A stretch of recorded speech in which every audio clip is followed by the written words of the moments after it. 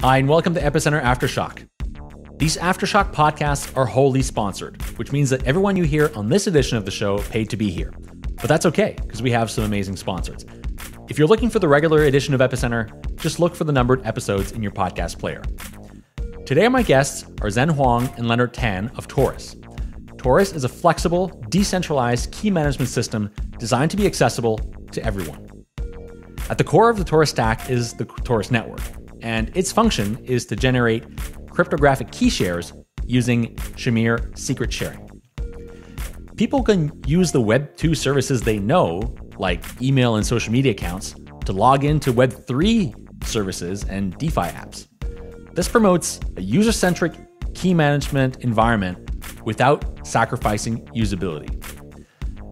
Torus provides web and mobile native support, and unlike other solutions which try to solve the UX complexities of key management, well, it's blockchain agnostic. In fact, it's compatible with non blockchain applications as well. What's great about Torus is that it's easily accessible for developers, and integrating Torus into your Web3 app takes just a few minutes. From the application's perspective, Torus is just another Web3 provider, and adding it to your app means that you simply have to import the library and pass it as a parameter to the Web3 object. Have a look at docs.tor.us for the quick start guide. Once it's integrated, your users will be able to create a crypto wallet by logging into Google, Facebook, Twitter, or about a dozen other services they support. There are a few things I really appreciated about this company and what they've built.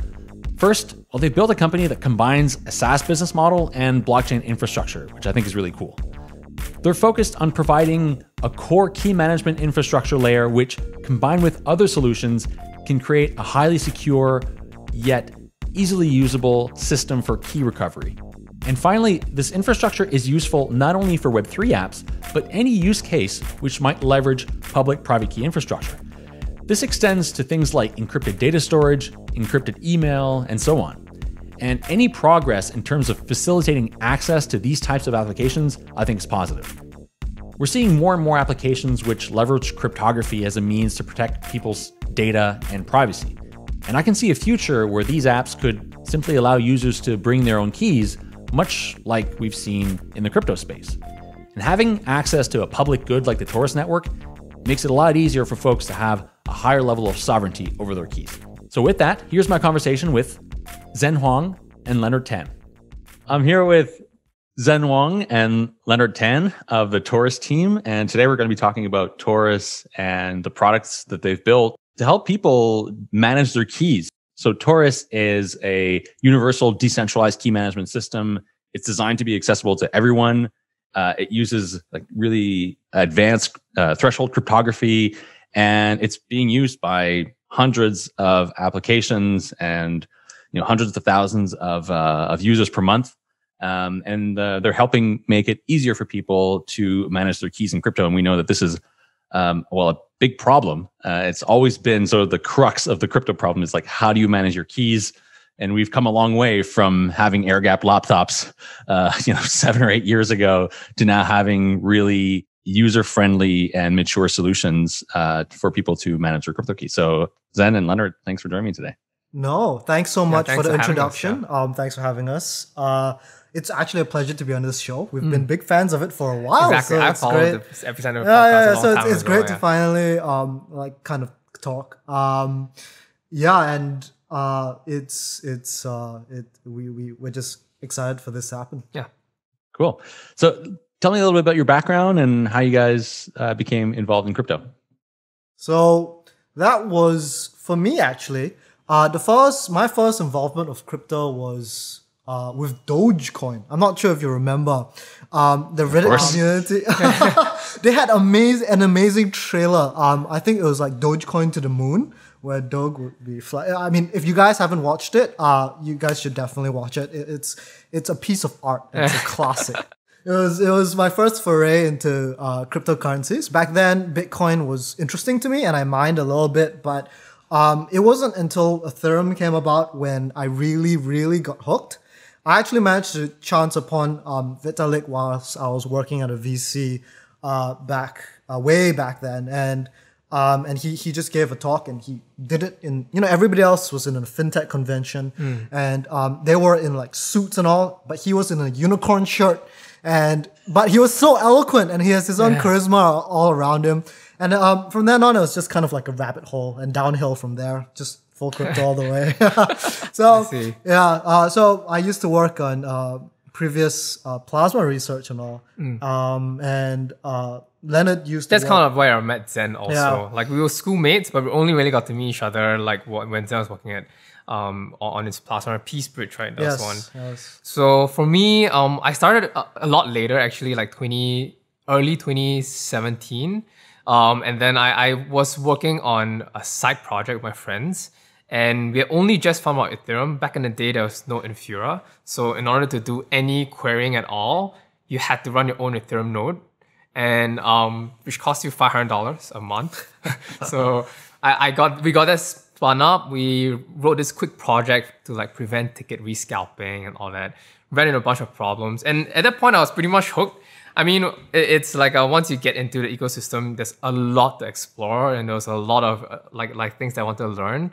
Um, and also, um, I, I majored in finance and economics, and I, I'm a I was just it was just like a good crossroads, right? Because finance, economics, and software engineering, that's pretty much what crypto is all about.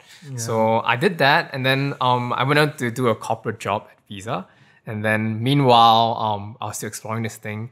And when the opportunity came, I decided to go for it and start doing um, more blockchain work.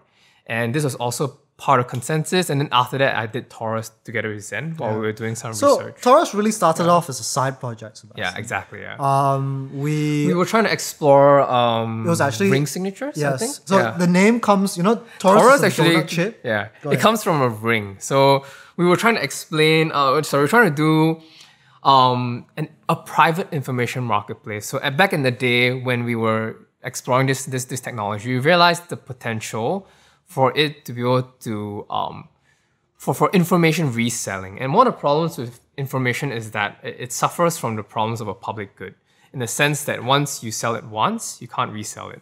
And that can be solved with things like designated verified signatures. Via ring signatures. Via So, ring signatures. Uh, yeah. But we quickly really realized that uh, you know ring signatures basically require for everybody to have public keys, and nobody had PGP keys. Nobody had any keys at all. there was no way to identify users at all, even if you wanted to so we just went back and back and tried to solve each problem, and we uh, we kind of chanced upon like the Torus infrastructure and architecture at that point in time, Hmm. and we really felt that it would be a great way to kind of uh, make public key infrastructure accessible to everybody Hmm. and usable by everybody, and that just became our mission and vision, and what we tried to solve in the ecosystem as well as time moved on.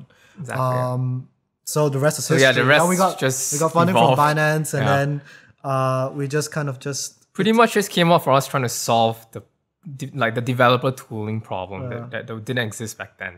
Time really flies. It's been two years.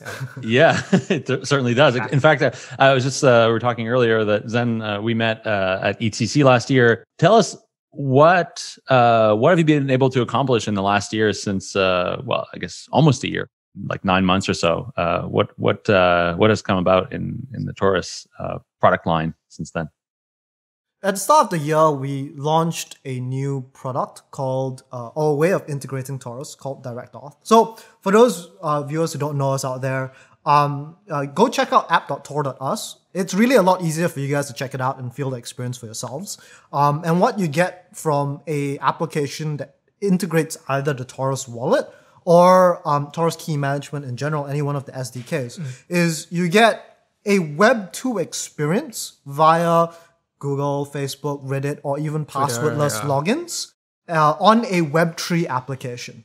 And uh, this is, and we uh, we launched earlier in the year a different way to uh, integrate um, the Torus key management. We basically uh, we made it directly embedded Yeah. into applications. We also uh, launched in this year a, uh, a a key management architecture called tKey, Mm. which um, is another abstraction over the Torus network. And I'll go a little bit more into uh, those Sure, we'll- we'll- abstractions we'll and how into keys are managed a little bit further down the line. Mm. But uh, it's uh, we've just basically been busy listening to developer requests. Yes. They ask us, "Oh, would this be possible? And then we go, oh yeah, yeah, yeah, and then Yeah, we build and it for them. We build it for them and then Um, see how much Yeah, how much so, traction it gets. So yeah. Uh, it's been it's been so direct auth has been great. Uh, Hmm. We've really managed to come a long way with both the direct auth and Torus wall integrations as well as tKey. Hmm. Um, to date, we are directly integrated into over 250 applications. Hmm. We're seeing over 100k monthly active users with hundreds of thousands of authentications. Uh, we're really happy with where we've come today. Really Hmm. excited to, uh, uh, to for what's coming in the future as well. So Torus is is a, a bunch of different things, right? So like there's the Torus network, which we'll talk about. Uh, there's the Torus wallet. Um, there is this direct auth um, product, and there's there's tKey. So let's let's talk about the Torus network. There, what, what is the Torus network, and what? Or that maybe range makes sense of to kind of right. So the base is exactly as you said. The base layer is the Torus network. Everything else are, are like wrappers around it. Like the Torus wallet is a wrapper around the Torus network, so that you have a user user interface to actually use the Ethereum blockchain. And that comes with a bunch of things like showing what tokens you have, what CryptoKitties or what ERC721 you have. So that's that's one of the products. Direct Auth is an SDK that allows you to integrate it. And then tKey is yet another abstraction layer on top of Torus Network, which we'll cover later. So starting with the base layer, um, it is basically this thing called DKG. So uh, it's distributed key generation. And for those that, that are unfamiliar, um, the idea is basically a, a group of servers and or nodes um, come together. They all generate a key jointly. They participate in this DKG process and they generate a key. At no point is the key ever reconstructed. And at the end of this process, you get shares of these keys on each one of these nodes. And you need a threshold number of them, so majority of these servers, to be able to reconstruct the key. And we run this process, this DKG on the Torus network, in parallel to a separate uh, a layer, which is which does the mapping. So this DKG layer does um, this key generation, and then this mapping layer allows users to tie um, their social accounts or any type of login really that has a unique ID to one of these keys. And and um, So it's generic. We support generic, yeah. we support basically uh, any JWT login, or um, we also support in specific the OAuth 2 standard. Hmm. And um, this is a standard that, uh, if people aren't familiar with, it's what like Google, Google users, Facebook, Facebook. WeChat, all of your different uh, login solutions that allow other people to log in. It's a specification by Web. Uh, Well, OAuth 2, yeah. uh, it's a Open it's ID, a yeah, yeah, it's a specification that uh, is widely used in the Web two space. Yeah, so And, this is um, uh, you know the uh, log in with your Google account or log in with your Facebook Exactly. account that Exactly. every Exactly. website uses these days. Yeah. Exactly. So the combination of this allows basically for a network to store, assign, generate, and allow people to retrieve, these public-private key pairs via these modes of authentication. So this is the base layer doing its day-to-day operation, but there are other things that that you need to solve before this is actually usable and secure. So you need to solve issues around replay attacks. How do you prevent a, a, um, somebody from taking your Google token and replaying it to get your key? You need to solve things like migration. So let's say one of the servers decides to call it quits. I don't want to run a node anymore. So you want to migrate to a different set of servers. How do you that do that without losing people's keys? How do you do that so you don't even reuse the same shares? So there's a protocol for that called share refresh, and we've also implemented that. Um, you also have to think about issues like asynchronicity. Like how do you make sure that a single server isn't able to delay a login for very long? So these are all problems that um, the Torus network solves, and, and interested readers, readers can just go find out more. Um, it's based off uh, Cachin's paper from 2002. So the Torus network is really the the base layer that powers all of these user applications on top. And the, the way I like to think of the Torus network is it's a distributed system that does key share generation. Like that that's kind of its only function. It's just generate keys and store those keys for later retrieval. And I- if you- if you think at that level, if you, if you kind of abstract away the applications, it's kind of a, a nice public utility to have because you can use this for all kinds of applications beyond crypto. I mean, like if we think about um, wanting people to, or you know, encouraging people or uh, to, to to encrypt like their their data on cloud storage or to encrypt their email, like this is a really good public utility to have at the disposal of all kinds of applications that could potentially benefit from from having this kind of like key generation system. Is, is this something that you think about when exploring what perhaps like Torus network could become in terms of like a utility? Do you do you think about other types I of mean, applications? We I think it's actually my direct auth start. Yeah, pretty much, um, yeah. and uh, basically direct auth and the Torus wall and all are just different ways of integrating with the Torus network. And direct auth is uh, allows any application to directly um, assign, store, and retrieve keys. Uh, and we really see the Torus network as kind of like a decentralized Amazon Cognito, for example, or a decentralized Google Auth- Firebase, if you're or, Auth or Zero. off zero, if you.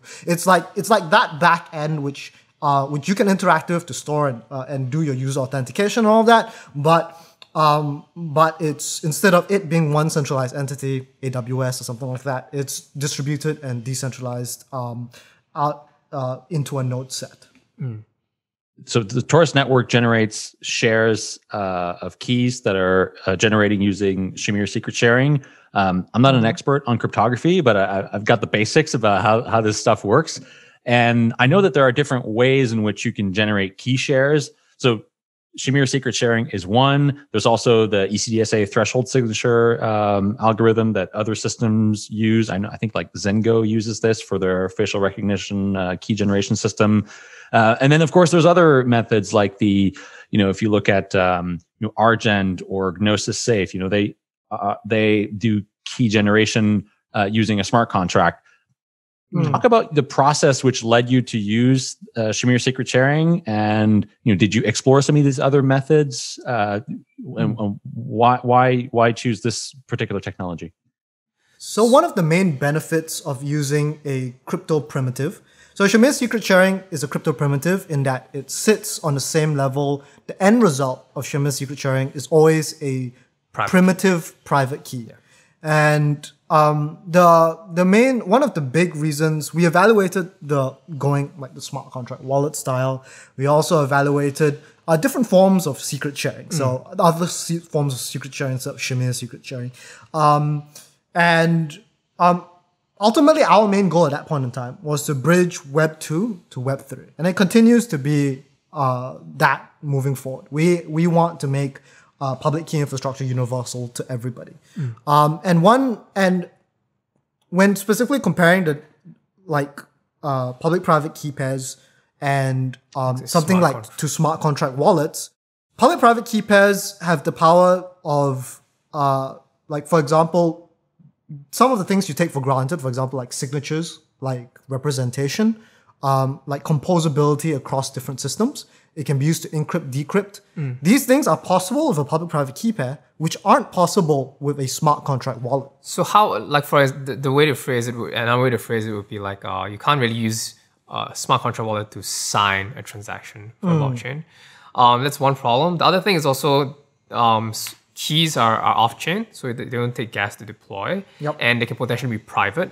So if you do any of this, um, this re- share reconstruction off chain, um, if you have separate hierarchies or different other systems, not necessarily using Torus, but using another different system to do it, you could keep it completely offline. So no one even knows that your key is split into how many pieces. And that could be useful like for like let's say someone trying to coerce you, right? And give you hand me your device.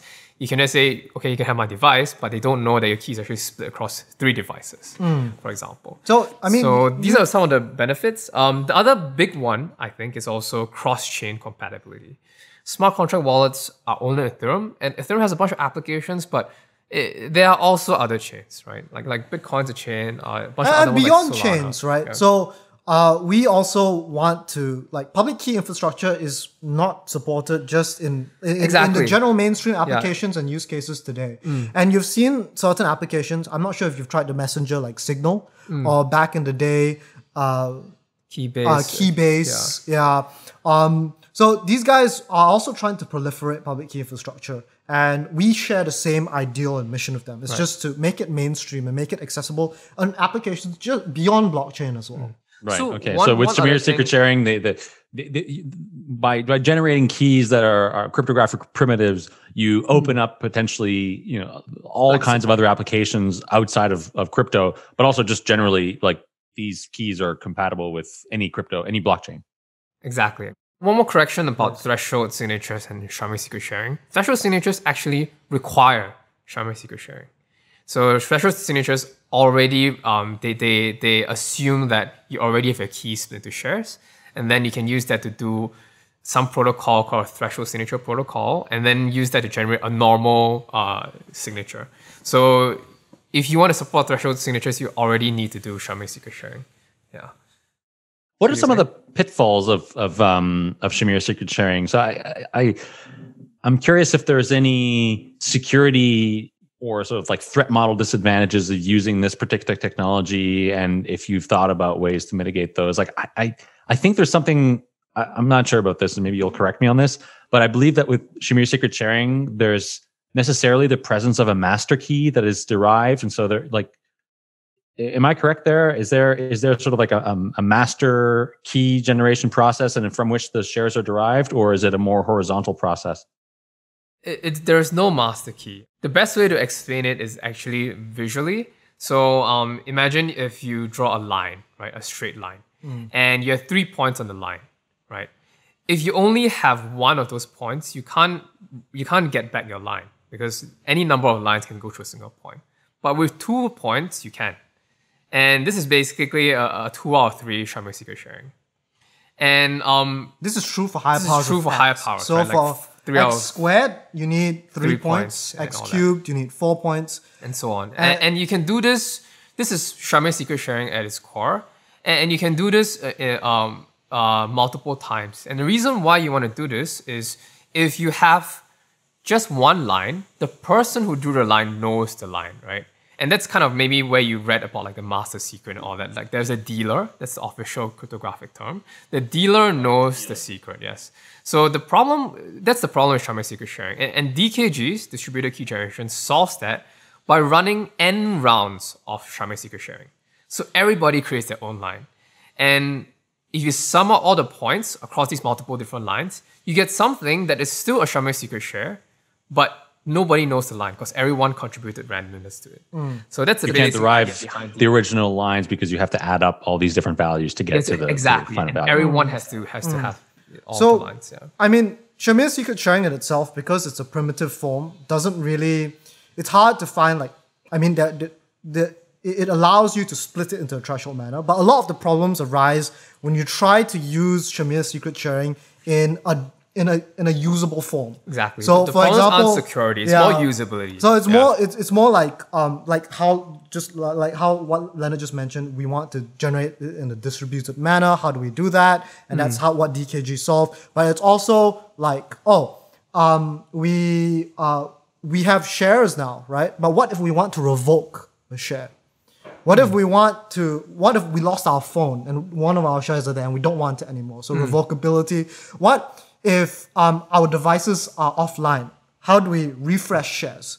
How do we ensure that our key hasn't been stolen before and isn't compromised? Exactly. So it's yeah. It's those usability problems that kind of kind of creep in, and you start building features around it. They get more complicated, and uh, there's some things that are harder to achieve with Shamir secret shares than with something like a smart contract wallet. And, yeah. and with smart contract wallet is really easy, right? Just remove the key and, and that's it. key so equals key equals to no. That's, that's about it. Yeah. And um, with Shamir secret sharing, it's slightly harder.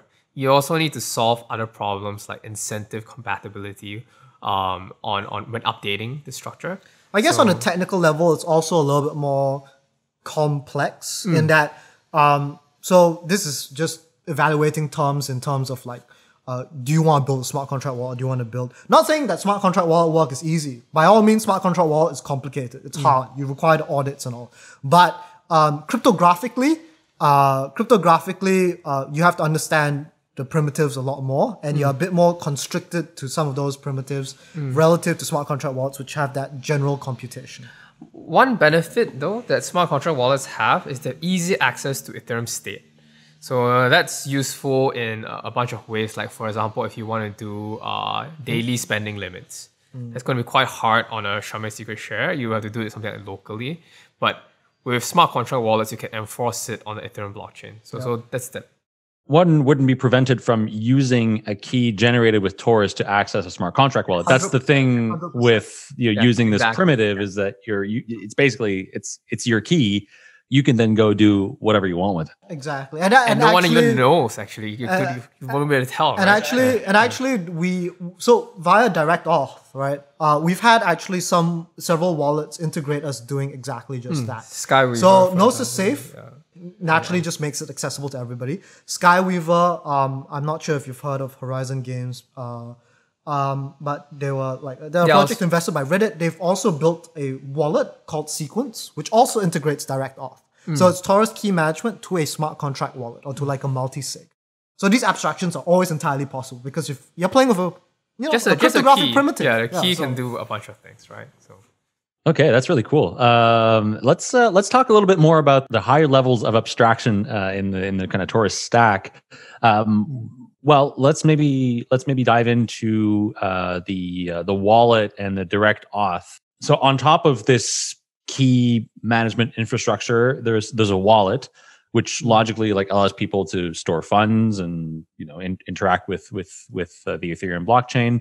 What what does these what do these products look like and I think maybe uh, a- good way to segue into the your experience aspect is to walk us through what the process of creating your key looks like. Like, what does a login look like for a user, and you know, in the in the background, what's happening when uh, when someone creates an account using Torus?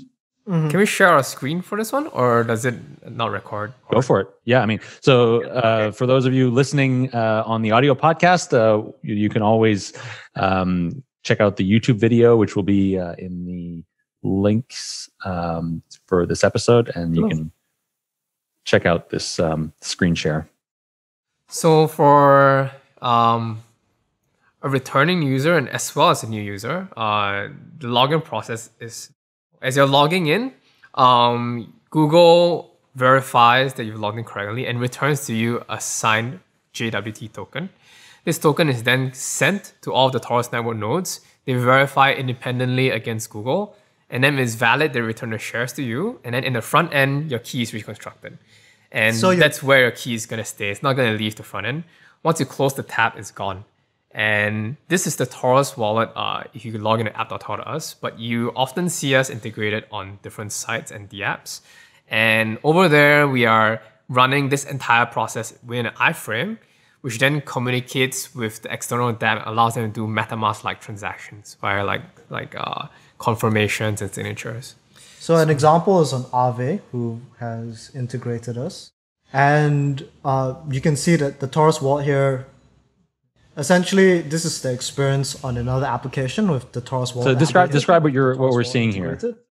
So what we're seeing here is Aave. In, Aave basically integrates a um, an SDK called the uh, Torus Torus Embed, um, and this loads up an iframe that runs in the background. Iframes are protected via the domain security model. When I log in, this iframe presents this modal, and when I uh, when I interact with this, I'm basically interacting with the Torus domain and On therefore app.tor.us, on app.tor.us and thereby also the Torus. and Okay, so this model window shows login with Google, login with Facebook, login with what you know the, the different service providers that you support. Uh, you've clicked on login with Google. Now you're you're picking your uh, your your user account. Basically, it's a one-click login into your Aave application, and a user can immediately start interacting with the application he or she wants to uh, do, be it like trade, be it uh, like buy wearable uh, items. Or, So, so important point to note about the domain security model uh, is, is that your key is kept uh, on app.tor.us domain. So Aave.com can't directly access the private key uh, in, if you're using the Torus wallet in this way via this integration. So it's interacting with the Web three with the Web three API, similar Exactly. to There's a Web3 MetaMask. provider that routes these requests to the iframe and then it's signed there and returned back out.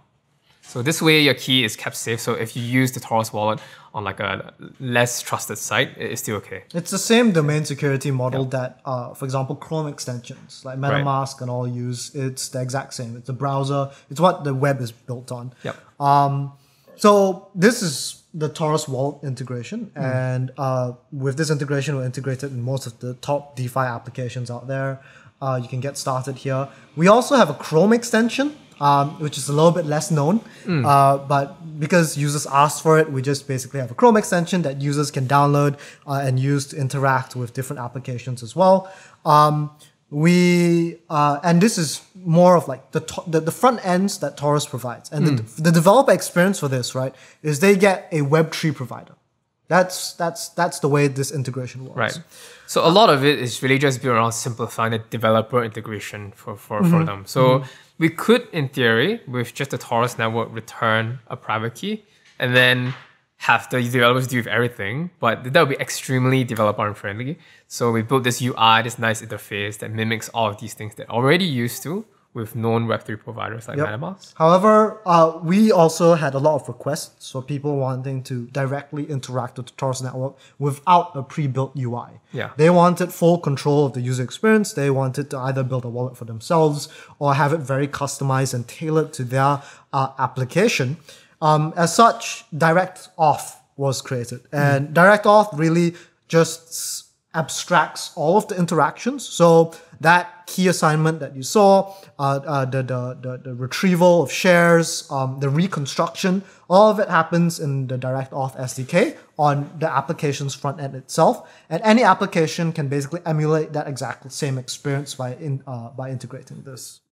So you have the wallet, uh, which which you've built, which is sort of like the the base layer in terms of user experience, right? So like any application can integrate Torus. It's transparent to the user that they're using Torus. They can always go check their Torus wallet, you know, on the Torus website, access the funds there, etc. Um, but for those who want a more custom experience and something that's maybe a little bit more white labeled and don't necessarily want uh, to have like Torus kind of, you know, as part of this as this experience, they can build their own wallet on top of uh, basically this SDK that abstracts away Exactly. all of the user experience aspects you mentioned. Imagine a Torus wallet and remove all the UI.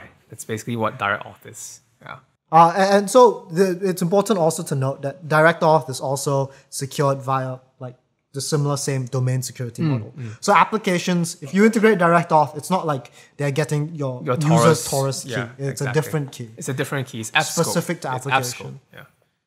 So uh, do, do these then are these different? I want. I'm thinking about them in sort of like namespace terms, right? So perhaps some some app uses the direct auth uh, SDK, and users are able to retrieve their funds using you know that specific their specific wallet. Can they then log in, say, with Torus or some other service provider, and still access their funds, or are they kind of like locked in some name, namespace? So for direct auth, it's namespace, and the reason for that is security, right? Because um, if they were, if a user logging in on any random integration with direct auth could access all of their keys elsewhere, then our security is basically the weakest link, which is the weakest, the most insecure that that uses direct auth. Which So- can be pretty insecure. which can be pretty insecure. So um, we for direct auth, it's actually namespace. The private keys are completely separate for each application. But I mean, in terms of like the ecosystem. And uh, whether or not they can leave the ecosystem, of course, uh, we we give back the public-private key pair. So as long as the wallet integrating direct auth or even via the Torus wallet, keys are always exportable. Mm. You can always take it away. Um, you can import keys into Torus as well if you want to do so. Mm. Um, and people have decided to do, uh, and that actually is what facilitates our account linkability flows that Mm. Uh, a lot of users in the Web two space are used to. For example, in the Web two space, I can connect. Um, if I let's say if I log in and start playing some game, I can connect both my Facebook account and Google account to it, and uh, you can do so. You can implement these flows via the Torus network as well. yep. So this is one of the things I wanted to ask you about is kind of portability with this key uh, this key generation method that uses Shamir secret sharing. What you get in the end is a private key. The the combination of those shares, you know, uh, populates or, or generates a private key that you can then export and go plug into MetaMask or plug into whatever wallet you want. So you're Yes. I, I like this because with other solutions that do this kind of threshold thing or or you know Argent for example that uses smart contract you're you're kind of locked in it's I think it's it's more difficult to take your entire account and your account history and like bring it somewhere else you'd have to Mm. transfer the funds um And I like the fact that with Torus, you can just take the private key if you want to leave and you can bring it somewhere else and manage it through another interface or even just have like two interfaces from which you're managing your your funds. You might want to have like Mm. I don't know, like on on some secure system, like have your private key there where you can also have a backup or something like that. So I, I like that portability aspect. And I think it's important because I, I would hate to see, you know, crypto end up in this space where all these different solutions aren't necessarily compatible with each other. And, you know, some some of them are less compatible, I'd say, like smart contract wallets, it's harder to move away from that. my my view is that there's two ways to make uh cr- like portability happen right? Like one way is you use established standards. So examples of established standards are like web3 providers seed phrases private keys right? And if you implement your solution in a way such that it natively relies on that then it's obviously possible to migrate your keys and that's kind of what we do we try to make it just a private key so you can use the private key elsewhere and then the other way is try and push a standard it's a lot harder, but it is possible, and we've seen some standards be pushed uh, for for these kind of things. But yeah, Yeah, but, but that- it's a lot that- harder. That's definitely tough. it's it's a lot tougher. Um, yes. uh, yeah, and I mean, we definitely resonate with with with that statement that you just made, and that Hmm. like interoperability is definitely very important. In particular, what we feel as well with regards to portability is the way we've kind of thought about. Oh, maybe it should be developer facing. Maybe developers should choose where the keys go. Maybe it should be all. But I, ultimately, I think it all boils down, and this is the same in the Web two space. It all boils down, I think, to uh, to to it should be user sovereign and user controlled. Basically, if a user so chooses to be on a particular platform, he or she ultimately w- w- the end vision that we have is he or she can choose to migrate um, when he or she wants to on on, on as a hard code. Um, and uh, yeah, as and with minimal resistance possible, as as you as you feel the same. One of the things I also I thought here, and I don't know if this is something that you guys do already or are planning to do, but because you're integrating with all of these uh, Web two platforms, how how easy is it then for someone to send funds using an email address or a Twitter handle? Is that something that you that you orchestrate for the user, or is that kind of a an added user experience layer on top of Torus that someone would have to build, like kind of on in their app. So you can already do that um, in our wallet today. You can already send to Twitter. Actually, you can send to Twitter. In fact, our latest campaign, uh, the charity campaign Bitcoin Tuesday, Uh, with the is giving block. yeah with, with the giving block is, is using that. So you can send directly to the handles. Um, And and of these course- are tax deduct. By the way, just chilling a bit here. Yeah, these yeah. are tax deductible, Tax uh, deductible. charity donations. So Okay. if you guys want to, uh, if you guys want to donate, I've been looking to donate some crypto for a while. It's a booming market. It's always a good time to give back. Um, Christmas, right? Thank yeah, you. check out Yeah. check out uh, the Giving Block and uh, Bitcoin Tuesday and donate via the Torus wallet. Yeah. Um, and it's totally possible. And not only do we do it via Torus wallet, Direct Auth also has this functionality. So, So- Direct Auth allows you to, to, to just um, look up a key based on a known user ID. So there are a few caveats though. There are a few caveats. The first caveat is that not all not all um, social logins support this. And um, for example, one example, and this may be surprising to some, is Facebook. Facebook doesn't allow you to do this because Facebook is actually really privacy conscious with their SDKs. And if a user has not logged into Torus before, there's no way to know what ID they have. And the IDs are also app scoped. So this way, you can't actually send to a Facebook user. So, so this is another question then. If if I send crypto using Torus to some random Twitter account, do they need to have Torus wallet already, or is that something that they can do a posteriori and and like create that wallet later? and do or- it- they can create a wallet later. Yes. Yeah. So how, how that works, kind of kind of uh, to go a bit into technical details, right? Because it sounds it sounds impossible, right? How do you do that? Before you yeah. do that before How the is the key's key? created? How is the key How is known that if it's not yet possible, right? generated? So, as part of the DKG generation process, there are commitments made to the shares. So commitments are almost like a, um, the hierarchy works something like this. Private keys have public keys, right? And shares have commitments. They're kind of kind of like on the same same the, the relationship between private key and the public key is the same relationship between share and a commitment. And as part of the DKG process, you have to publish commitments. Otherwise, you could just send bogus information to other servers. By reconstructing um, these commitments in a certain way, in the same way almost as how you reconstruct shares, you can actually get the public key because the relationship is the same. Mm. And this is a known result that's already used in other DKGs. So- you guys are free to check out on the one called DKG in the Wild by Aniket Kate, Yep. who is our advisor. And um, that kind of allows us to get the keys, the public keys of unassigned keys. And then remember back at the start of, of, of this podcast, I, I mentioned that there are two parallel systems, right? There's a DKG key generating system and then a mapping system. Yeah. So what we do is the mapping system assigns you a, a new user who has never logged in before, assigns the user to an unused DKG setting, and DKG, right? And then that has a corresponding public key. So we do that, and because it's completely parallel, there is no reliance on this, this DKG setup. It is possible to send to this public key first, and then later on, when the user logs in, he can reconstruct his key. the public key is generated first, and then the DKG will kind of construct the private keys from the different shares. Is, is that right? So As part of the construction of the shares, the public key is already known.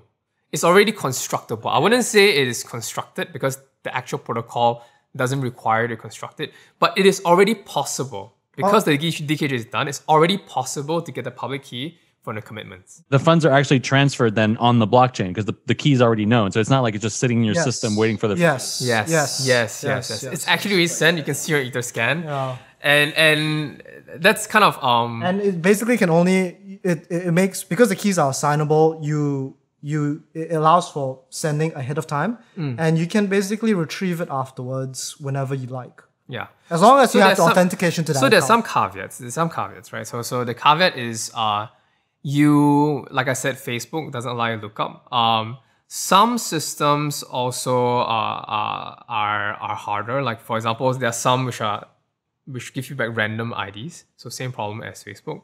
And the last thing is also you have to remember that this is a threshold lookup. So you're sending it and the servers are reconstructing the keys. So these are some of the caveats, but overall it works almost the same as Torus. I'm thinking here. Could you do like PGP style uh, email? Like, could you do this with PGP where you say, okay, I've sent you an encrypted email. If you Mhm, want to decrypt it, log in with with Torus Hmm. Yes. on some Yes, you email client that would implement Torus. Yes. Yeah, you Okay. could. And that's exactly how uh, Skizzle works today. Uh, we have an application. You can download a Chrome extension, the Chrome store, uh, as in not our Chrome, uh, our application. It's somebody built via DirectAuth. Um, that's how it, wo- it works exactly today. They basically uh, generate your key ahead of time. They use your public key to encrypt uh, an email attachment that you want to receive. And we send, and you send it to that. And then And when, then you, when- when you get it, log in, you get back the key and you decrypt that. Yeah, exactly. Wow, that's really interesting.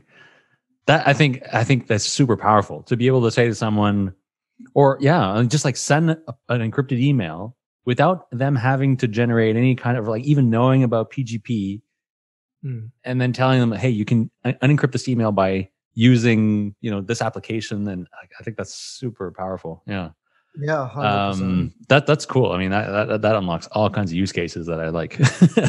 um, I, I'd like to talk about tKey. Uh, we haven't we haven't talked about that yet. And so, if we kind of recap, so the the, the Torus network generates these key shares.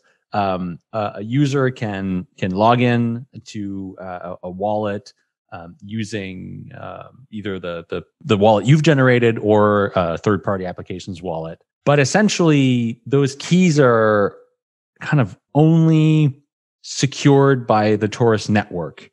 And what you've built is you've built like another layer on top called tKey that allows for um, as I'd like to call I, I call it like a, a two-factor authentication on top of that um, where one either has to provide a password or uh, do some kind of like browser cookie thing, and maybe we can talk a little bit about like those different types of second factor. But essentially, it's like an added layer of security.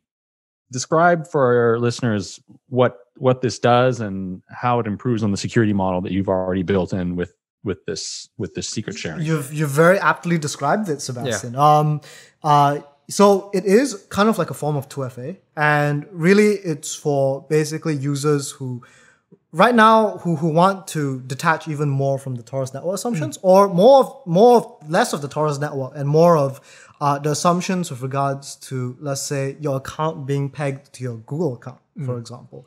So with um, with the Torus network, if your Google account is accessed and compromised, right?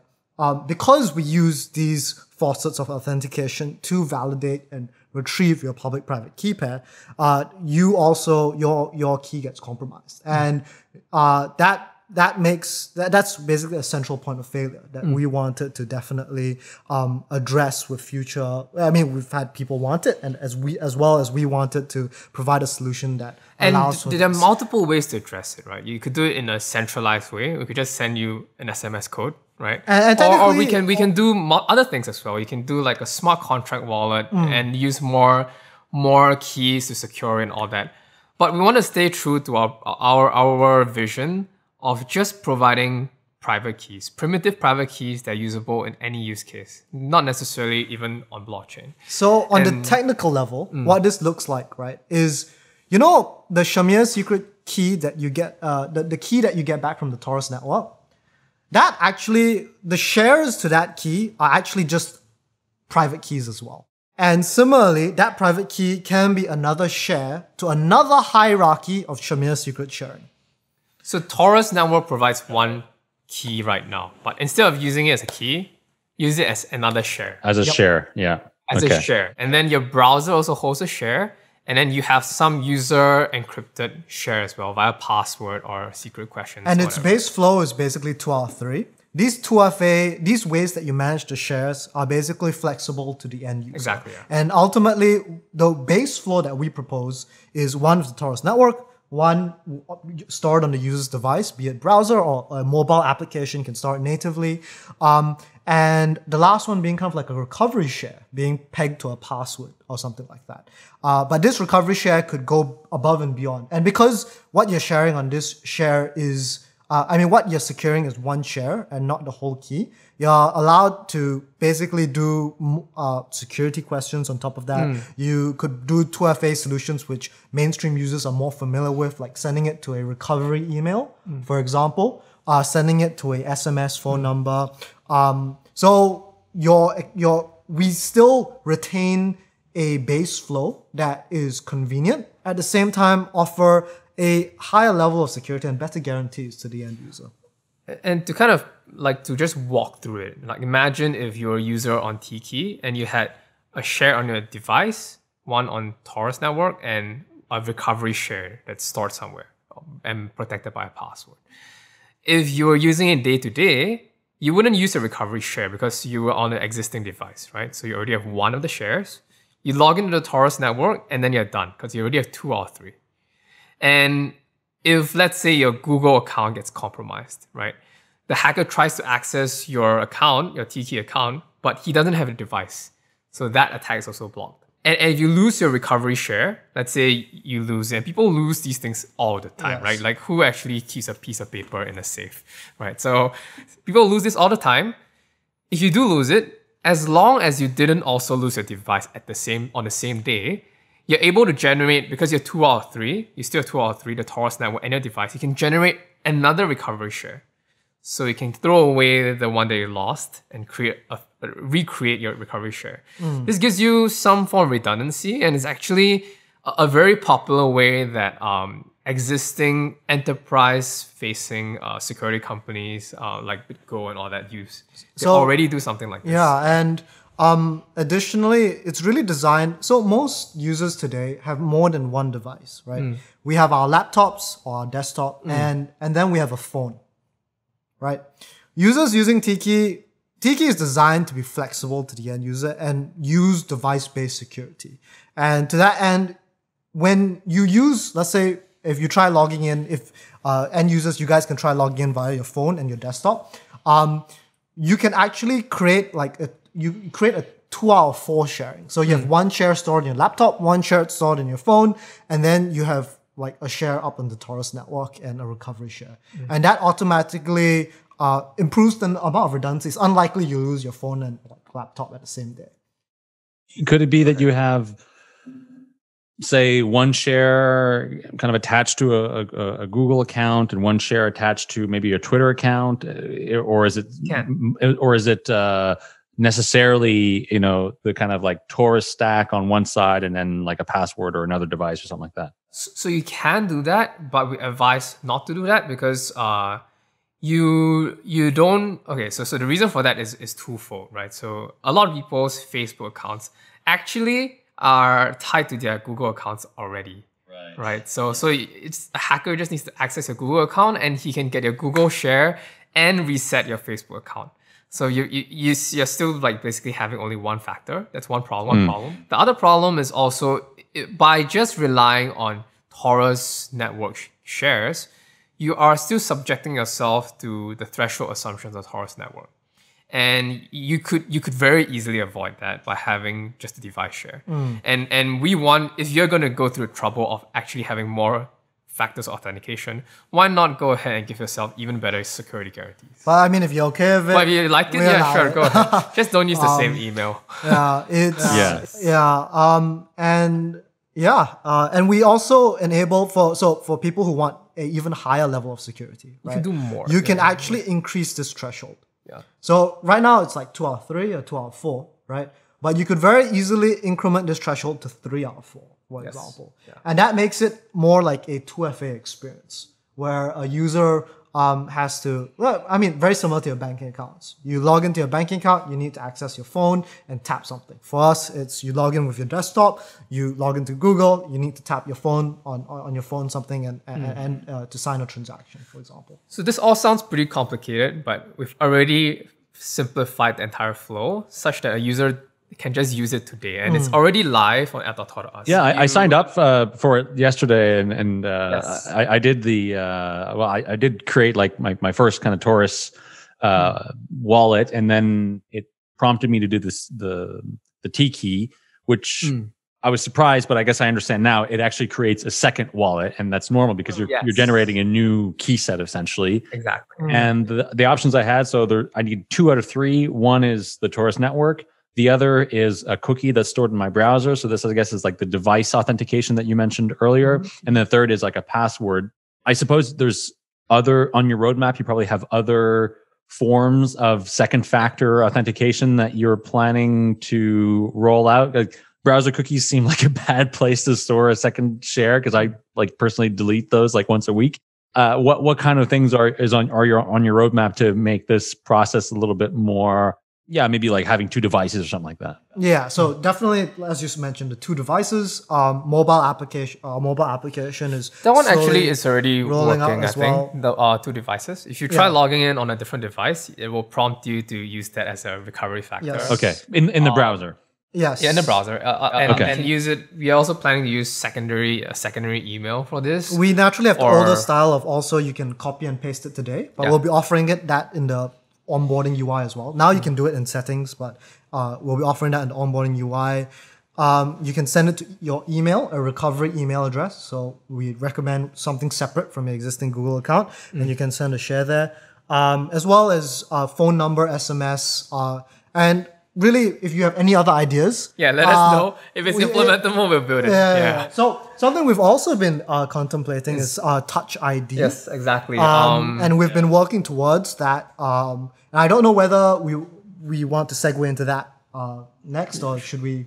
yeah sure i mean let- let's uh, uh, let's talk more about the the kind of ux challenges here um yeah what what kind of what kind of things are you thinking about in terms of building touch id where would those keys be stored and i think most importantly how are they backed up in such a way that like if i lose my phone i can still access the key but it's not like unencrypted somewhere on my icloud yeah Mm, Exactly, exactly.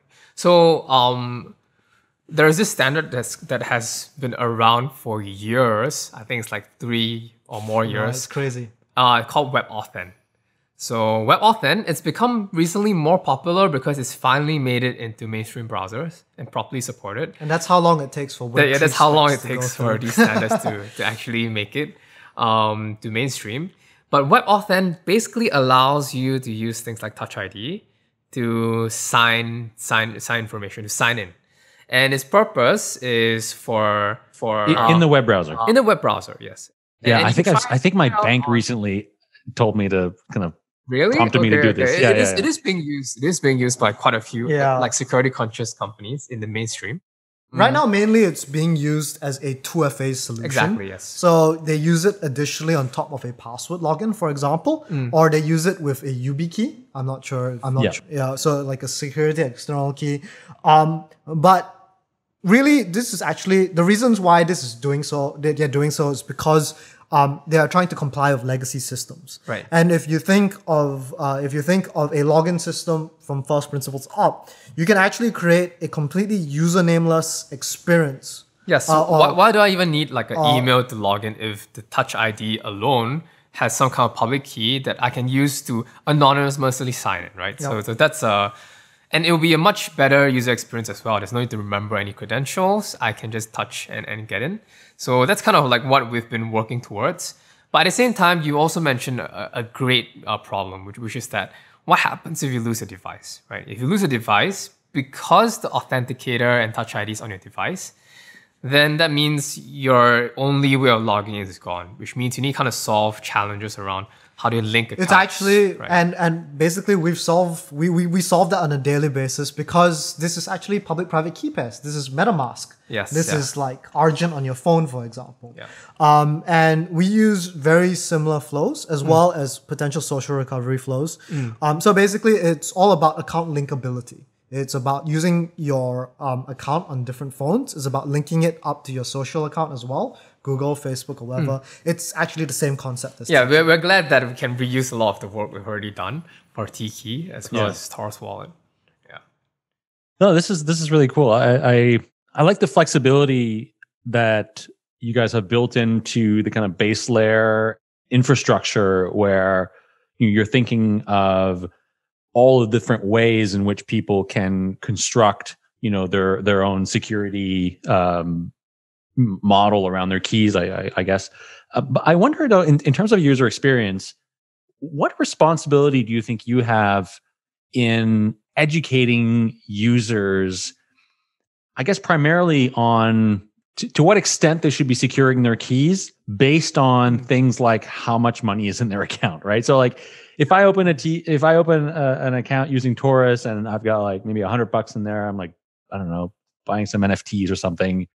The risk of losing my keys and like catastrophic loss of my of my crypto is fairly low. So maybe I'm not going to enable tKey. But like if I start using this to store lots of money, lots of crypto investments, etc., then you know, I I I would think that those users would want to secure their accounts uh, in more meaningful ways.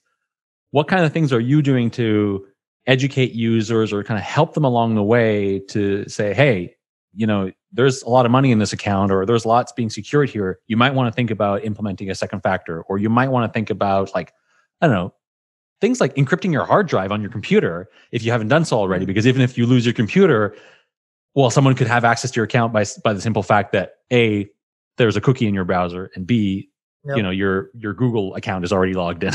like just kind of simple education around personal operational security.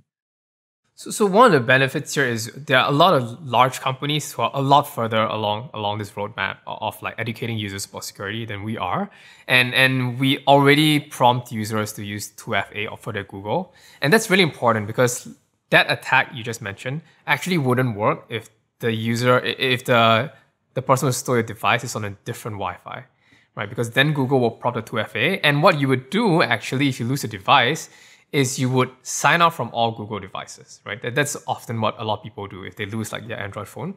You would say sign up from all my devices, and, and now um, to re-log in, they will have to somehow hack your account. Yep. Um, so that's that's one way to kind of use these already pre-existing solutions to do it. The other way is um, more native to tKey, and we do prompt users when their account in the Torus wallet exceeds a certain threshold. But we don't do that uh, as part of Torus network. And one of the reasons is exactly as you said. Um, in order to keep the network flexible and, as useful as possible to a bunch of applications, it makes sense to limit functionality to what it's good at. And the Torus network is good at holding and holding, generating, retrieving, and sharing private keys, not necessarily prompting users. When their amount on a specific blockchain exceeds a certain USD equivalent. That's going to be quite hard to do from a network perspective. Instead, we leave it to front-end implementations to do this. And we have recommended guidelines for exactly like when to do it. But we, I would say it's definitely use case dependent. Ultimately, these like, a- recommended guidelines are really dependent on audience as well. Exactly, and yeah. Particular users to users. If you're a game, mean, maybe ultimately, not so much. Yeah, if you're issue, game, yeah. well, I mean, depends, Depends on, on how much you're spending how much investment of your time. Yeah, but yeah. essentially, it's like if it's gonna hurt, if you expect to, if if you expect your audience like uh, if if, it, if your account gets lost, nothing happens, then Hmm. Well, you don't really need much at all. But once uh it, once it starts, maybe once it's uh kind of goes like maybe ouch, hmm, that's an inconvenience. Then maybe you might want to start adding uh, maybe one 2FA or maybe ensuring that you have redundancy um, out there. And then uh, and then once you basically it's it's really going to cost a lot. That's when you start using tKey with higher levels of authentication. Um, We also have external tools to allow you to do this. So you can do this natively in the Torus wallet already. You can implement, in, in, import existing shares and keys. But we're trying to build external tools such that uh, a user can completely export each of his shares on how, let's say you have two devices and shares on each one of them. We want our users to use these external tools that they can run locally to reconstruct their keys. So not only this is important because not only do they actually um, back it up securely, they also fully understand the model they're in. They understand that this is what I'm doing, these are how the thresholds work, and they can choose what they will with it, what what they want to do with it. And ultimately, this is a very ongoing process for us, to be Hmm. For sure, honest. It's um, we we kind of we go through user testings. We uh, we constantly kind of ask what these thresholds are. Hmm. Um, we think about the guarantees that we need to offer, and then we think about whether we're the right people to do it. Yep. Another thing, I, another thing I think that's important is, you know, oftentimes if you create an account, you might secure it in the beginning. Maybe you know you've got like a, a secondary device or something, and then you get rid of that device, not remembering that you had a, a- one of your shares of your keys there. Yep. I think Yep. One of the things I've seen companies do, like Signal does this. Uh, Signal has a second layer of of security on top of the key, which is a PIN code. And like every Hmm. couple of weeks or whatever, it reminds you. So it's like, what's your PIN code? Like just to keep, kind of Yep, keep you um, aware that there's this thing securing that that device or securing the data in in this case. Yep. And I think like reminding users, constantly reminding them, like once every couple of weeks, say, "Hey, Hmm. by the way, you know you've got a there's a security key that's on this device. You know, you you just re-authenticate it or just Yep, recheck it to yep, make sure everything's definitely. working." To and and that helps, I think, keeping that system kind of top of mind for people and remembering that they have you know maybe like lots of funds Hmm. like stored, and if they lose this device, then they would kind of lose access to it. It helps them sure. remember their PIN as well. I- I've seen that happen. I've seen that being used as well in like Authy, like the authenticator app, Authy. So they also have like this this uh, master password backup, and they remind you frequently. And if it doesn't matter if you forget it, uh, you just have to remember to reset it before you lose your device. So that's kind of how they do it as well. Yeah. I, I, I got a couple of extra questions here on. uh, You mentioned this briefly. You talked about people reconstructing their their shares. What happens if Torus disappears? Uh, if the company disappears, and what assurances do we have that the network will continue to provide, you know, the shares, uh, key shares for their users? What's the incentive for that model to c- continue uh, to live on? that's, That's actually a A great, great segue, segue into our ne- next V2, segment. yeah. But um, but I mean, initially We can talk I'll about things address- we've done now. Wait, Yeah, initially, yeah. initially, right now with tKey, right? Uh, that's the reason why we always advocate a two out of three flow, where a user is always in control of two shares. Um, in the event where Torus is uh, Torus leaves and all, the user is always kind of secured via him being able to reconstruct his or her share locally, and it's always accessible and always possible for a user to do so. And and this is this attack is more.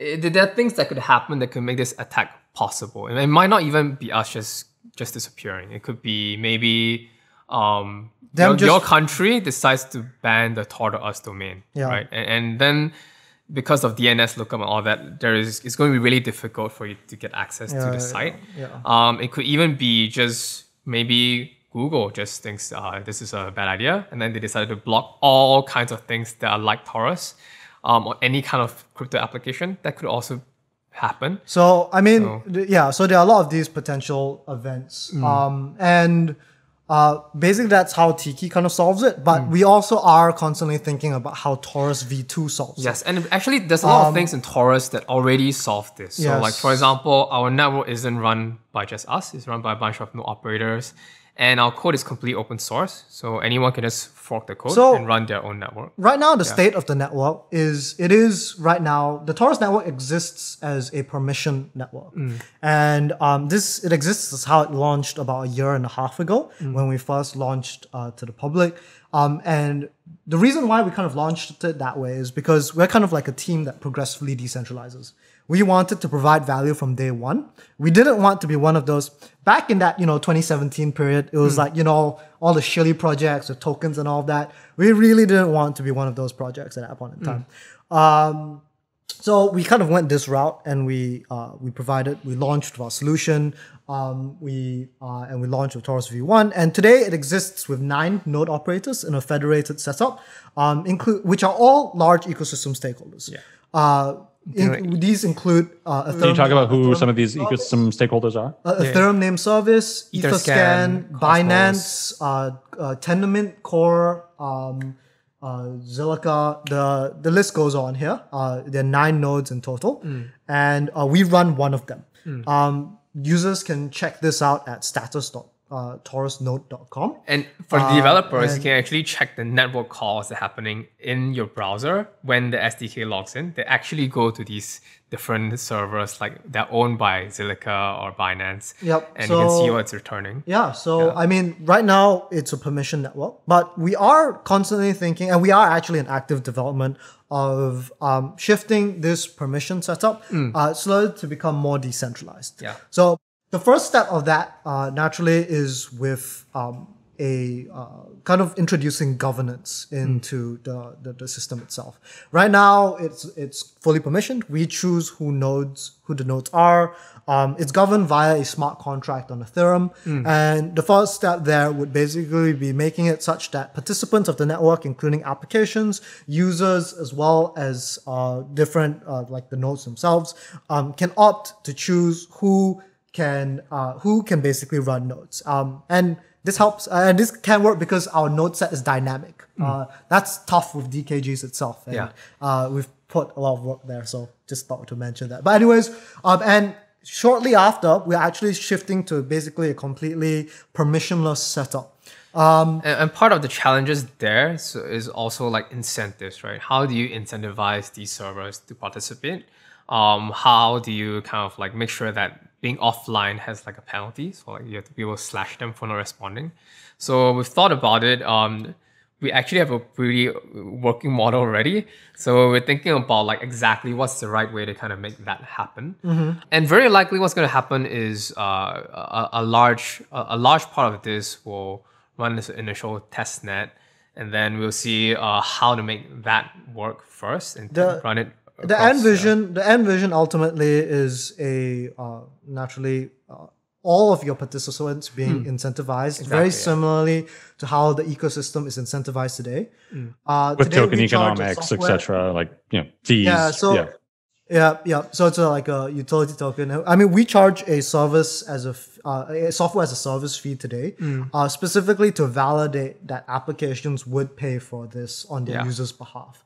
And that's similarly how we foresee um, kind of like the ecosystem the playing fees out. and incentives being paid ultimately, uh, yeah. what we're aiming for is a decentralized key management system Mm. that is competitive with centralized systems today. Mm. So it's very similar to, I guess you would call it Filecoin and Sia, whereas they are for competing with Dropbox. For us, it's a decentralized permissionless setup. Anybody can run a node. Anybody can offer their services. Um, and anybody can be part of the DKG setup. And the things that we replace are centralized solutions like Amazon Cognito, Auth0, or Google Firebase that exists in the ecosystem today. and there are a lot of challenges that we are trying to solve along along the way as well. Like for example, the OF OAuth2 standard is by design very centralized, and it actually leaks information about the user. Like for example, their email or their name.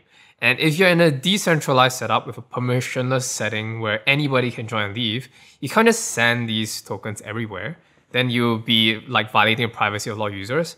And we are actually doing an ongoing uh, research grant as well uh, with uh, Weitie, who is doing um, a way to such a valid to validate OAuth 2 tokens um, using ZK zero knowledge proofs. And what that would do is allow you to validate the token on the client side without sending the whole information to the backend. So just these different uh, endeavors, which Exactly, basically yeah. in totality, and our end vision is a decentralized, decentralized management Google management solution. This is something I wanted to ask you too. Is to what extent does using Torus leak information about about funds uh, held by an account or transactions executed on, on on on like Ethereum or any blockchain? Can anyone say look at an email address and figure out you know what the pro- what the public key for that email address would be, and or or, or even perhaps you guys like is is that possible? And is this something that this ZKP solution would address? So via Google, the um, via Google, uh, and via basically all different authenticators, the authenticators don't know anything except that you have logged in. Hmm. Um, it's just basically your handshake, and that's all of the information that uh, Facebook or that Face- Google or Twitter After gets, that, we yeah. After that, um, and in terms of what like data is accessible to an end user, um, or, or to a user like looking at let's say your email address via tKey there is no information available as well because basically we don't actually know your tKey on, on, on your Google setup. But via your Torus key setup, there's basically there is a mapping that exists on the Torus network itself that maps like the the the, the corresponding uh, the corresponding uh, the corresponding unique identifier for a login to your social account, and that is necessary because of the the, lookups, yeah. authentication requirements. Exactly, yeah. So um, the the ZKP would help with obfuscation of all other data Mm. uh, pertaining to the login. Uh, but that unique identifier would still exist. And it's really like a double edged sword here because that thing that you were very excited about, those lookups that you were very excited about, is necessary in authenticating a user and is necessary in that particular handshake. But It also leaks It also leaks information. That, that particular information is leaked and accessible Exactly. because of that. So kind of like we recommend if you're trying to use like a more private setting, use tKey. tKey gives you better security guarantees. You are also private. No one knows uh, what association is. We are just tKey just uses your Google login as a factor authentication. But if you really like the lookup feature, or like if you're just sending to a friend a couple of dollars and he's never used crypto before, definitely try using uh, the the lookup feature. Or also on that end, like because again we're crypto native, Mm. we've always felt that this particular we want we've always wanted to censor privacy to the maximum, Mm. like as in like ensure the least amount of information is leaked possible. But for extreme privacy, right, it's always it's always possible to use other solutions which tout it, right? So like Aztec, Mm. Yeah. um, Electric Coin, uh, and that's easy to yeah. do because you use private keys. Yeah, right? yeah, So if you and- wanted to, you could use Right. wanted techniques. Yeah, so it's compatible with that. Yeah. Cool. So, where can people find you, and how can people start building in Torus into their uh, into their Web three apps? So definitely, if you're a developer, do check us out um, on our main page and our docs, docs.tor.us. Uh, and also, we base we are very um, we're very active on Telegram. Yep. So do check us out on Telegram. We have, We have a developer blog. chat as well Yep. on Telegram, just specifically for developers who have questions. We answer everything there. A lot of our new features actually come from requests there. Yeah. So Uh, and we have kind of like we we, have, we work hand in hand. Key management is a critical part of a lot of uh, adapts Mm. Application, an yeah. application stack. And in uh, for us, we particularly work hand in hand with a lot of applications. We help you guys.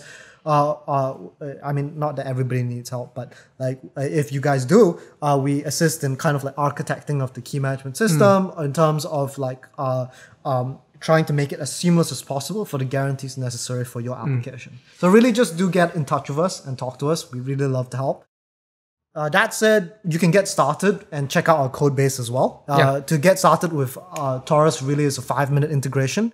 Yeah. and it's all open source uh, code, all, all audited as well. Kudelski for tKey, a bunch of them for Torus, Torus Public.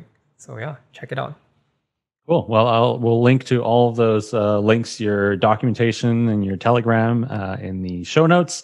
And of course, I mean, anybody, even if you're not developing an app, I think you should just go to tor.us and and just try creating a wallet. It's it's uh, it's a pretty incredible experience to be able to create a crypto wallet using you know your Google account or your Twitter account or you know whatever kind of account you you, you like, and um, just walk through the process and, and have a get give yourself an idea of what what this process looks like and how you can create a crypto key using just a, a, a Web two login. It's quite cool. Yeah, hundred percent. Yeah, uh, yeah. If and do let us know what you guys think as Yeah. users as well. Always open to, uh, always love to hear.